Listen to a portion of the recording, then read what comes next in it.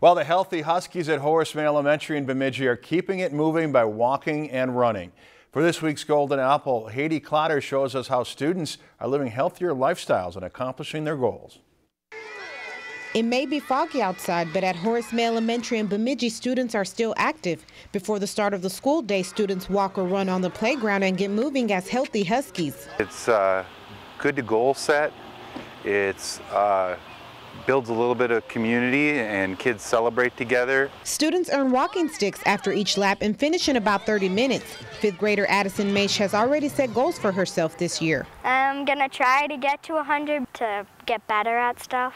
Abraham Bratleen is an alumnus of the Healthy Huskies and in three years accumulated more than 200 miles. You can really benefit from it just to be healthy and kind of to get fit and probably in the morning for some kids just to get their energy out. Kids are excited about the Healthy Huskies. Last year 140 kids completed the 25 miles and 10 kids reached the 100 mile milestone. Oh, After 25 miles, students earn a t-shirt. At 50 miles, a golden pencil. Next, you join the 75-mile club with a wristband, and at 100 miles, you earn a gold medal. Matthew Hack is 50 miles in, and Healthy Huskies helps him with other activities. It gives me more energy for my sports. Like what sports that you play?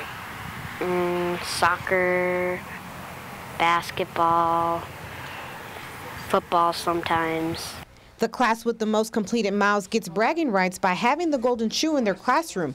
The outdoor day participation is optional. We went around the track and we got sticks, and then once once we each got 12, we got to um, trade it in for a colored stick, which is a mile. Healthy Huskies builds healthy habits for students and teaches them that goals can be within reach. For this week's Golden Apple in Bemidji, Haiti Clotter, Lakeland News.